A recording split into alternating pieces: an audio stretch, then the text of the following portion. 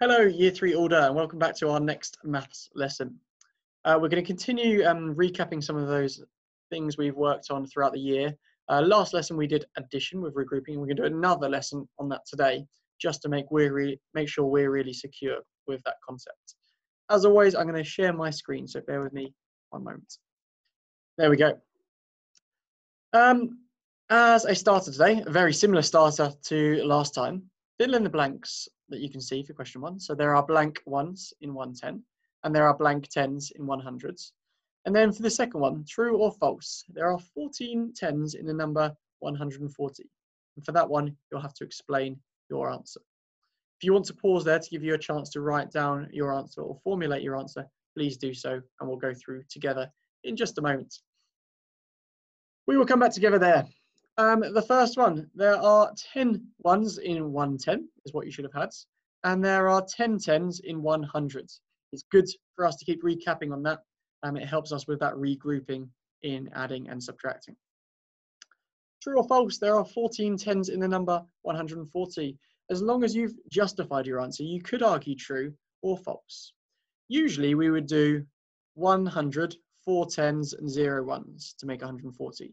But 14 tens could be regrouped into um, one extra hundreds and four tens. So it is just a different way of showing it before that regrouping has taken place. Let's move on.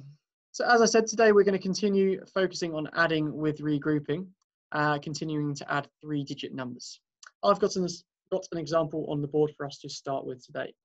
And it says 522 plus 219. Now we've got the same questions on the right hand side today because it's good for us to keep going back to make sure we're recognizing why it's adding, how we lay it out and what's the difficult column. So this one's nice and simple. We know it's adding because there is an add symbol just here. That is our clue for this one. Um, how do I lay it out? We're going to continue practicing the column method today with a pictorial representation next to it. Maybe you can work out which column is a difficult one. Have a quick look. Now, I think the difficult column is going to be that ones column. So we have two ones in 522 and nine ones in 219, which is going to be a lot of ones in that ones column. But let's have a good look together. If you'd like to pause it first of all, please feel free to do so and you can have a go. Otherwise, we're going to plow on through and we're going to have a go together. So I've laid it out like a column method. I've lined up my hundreds, I've lined up my tens, I've lined up my ones. Now I wonder if you can remember do we start with our hundreds? Do we start with our tens? Or do we start with our ones? Well done if you said we start with our ones. That's where we've got to start to allow us to do that tricky regrouping that might come up. So I have two orange ones to represent the two ones in 522. I have nine blue ones to represent the nine ones in 219. Now, some of you, if you're particularly eagle-eyed, might have spotted that there are already too many ones in there. 2 plus 9 makes 11. I can't write 11 in my ones column. So I've got to do something with them. Wonder if you can remember what we need to do. Well done if you said regrouping or regroup 10 ones into one extra 10. So I'm circling my 10 ones. I'm drawing an arrow to show that that makes one extra 10. Now I've been left with one one in my ones column. So I'm going to write a one in my ones column. And I've made an extra 10. So just below my tens column, I'm going to do a very small one there. So I know I need to add one more 10. Now moving on to the tens column, we have two orange tens to represent these two tens in 522. And we have one blue 10 to represent this 10 in 219. But also remember we've got that extra 10 now. So it's 2 plus 1 plus an extra 1, which is one, two, three, four tens in total. So I'm going to write that number for just here. And lastly, onto my hundreds. I have five orange hundreds to represent this 500 here and two blue hundreds to represent this hundred here. There is no regrouping involved with this bit. It's just simply 5 plus 2, which makes 7. And my answer was 741. Well done if you got that. Let's look at another example together. This one's a word problem. And it says, there are 544 stamps in one box and another 365 in the other box. How many are there altogether? Now, we know this is probably going to be an addition question because we're adding today and that's our focus. How do we know for sure that this word problem involves adding? What words perhaps tell you that? Have a think about that. And again, have a think about how I lay this out or how we will lay this out and what's the difficult column here. Now, the first question, am I adding or subtracting? I'm thinking that word altogether is really important because if we're putting things together, we're usually adding them. I'm also thinking that there's 544 in one box and another 365 in another box. So we've got two boxes. If we want to work out the total, we've got to add those numbers together as well. Let's have a look at how we can do that. So once again, I've laid it out like a column method. I've lined up my hundreds, I've lined up my tens, I've lined up my ones, and I've got my picture next to it again. Now, we start with the ones. I remember that from last time.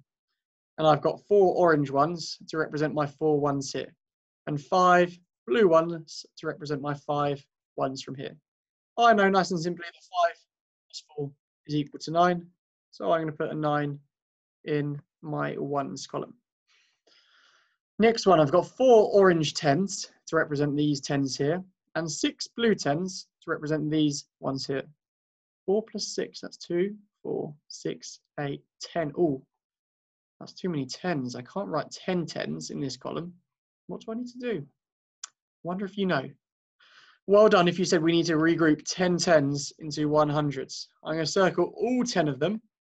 I'm going to draw an arrow and I'm going to make one extra hundreds. That means I've got zero tens left over. So I'm going to put a zero in my tens column, but I've made one extra hundred, which I've shown down here and with my little one here. Finally, 5 plus 3, that makes 8. But I'm not going to write 8 in here because I've got that extra 100 as well. So it's 9 in total. So my answer is 909 stamps altogether. Once again, well done if you managed to do that, particularly with that tricky regrouping.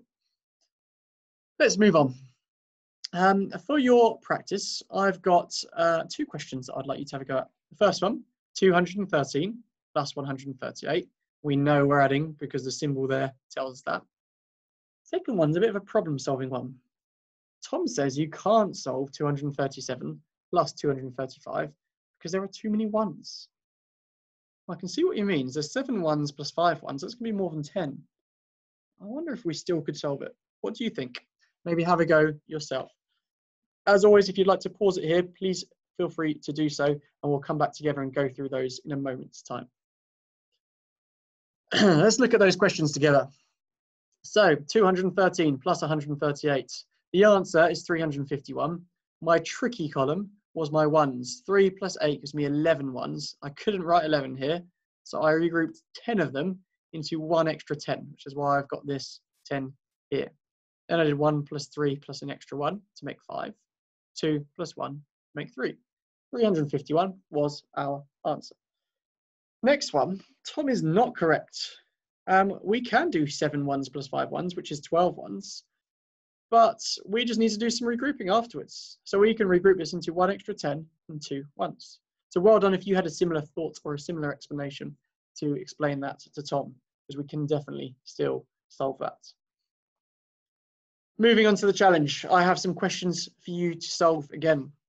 Uh, number one, 431 plus 381 can you use that column method to solve it. This one, I flipped it round, but it's much the same. 431 plus 139. Next one, I've got a word problem. Mustafa spends 236 pounds on a carpet, 571 pounds on a bed. How much does he spend in total? And I'll be thinking ahead to that tricky column as well. And finally, can you create and solve your own word problem? Maybe you can write one that links to addition, using that language to show that it's addition. Um, if you want a challenge X, can you choose one question and write a set of instructions on how to solve it? Maybe you're gonna have to break it down step by step, how that question will be solved. Once again, please pause the video there and we will go through those questions in a moment's time. Now, I'm not going to go through the method for each of these questions as we won't have time to do so. But if you need a bit of extra practice to work out these answers, feel free to go back further in the video and look back at those column methods.